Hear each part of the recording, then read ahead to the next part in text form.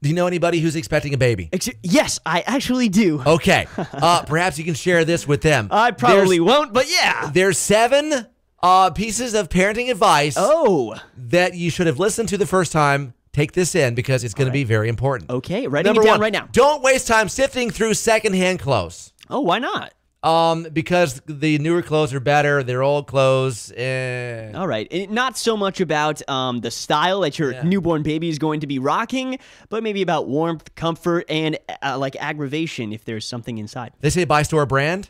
Store um, store brands are the best For when it comes to babies, whether it be formula, whether it be foods, medications, and all Okay. that. Buy name brand, buy store brand. All right. Um, they say buy organic from Walmart. Organic from Yeah, Walmart, even yeah. if it costs more? Um, that if if if you want uh the organic foods for Yeah. your baby, Okay. Walmart's got the best organic foods. All right. So if you're the type of mom that says this baby is going to eat organic, Walmart is the place to go. Keep extra gear in your trunk at all times. Talking diapers, wipes, formula, uh, because you're gonna be on the road somewhere. Okay. Uh, and and and your kid has puked up all over So their outfit. always pack extra and think what is the worst case scenario? Puke in the car. or or they're in the in the car seat Uh-huh. and and it's and it's one of those those those poops that go Projectile everywhere. No, the poop it goes everywhere. Okay. And guess what? You have no diapers because you ran out. Oh. Now what? Now, oh.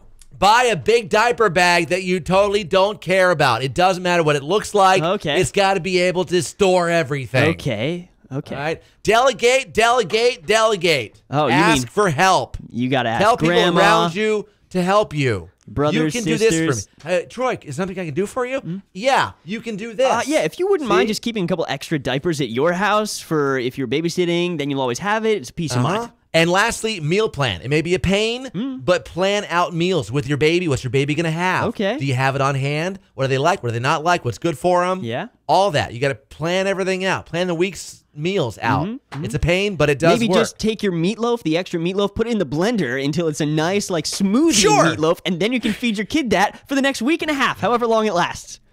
Whenever you have Troy I'm Jr., be that, such that poor a good baby. dad. More info on the seven pieces of parenting advices of advice you should have listened to the first time. Mm-hmm. Right now, Facebook, yesfm.com, and the Immerse in the Morning page, and our YesFM Twitter page at 967YesFM.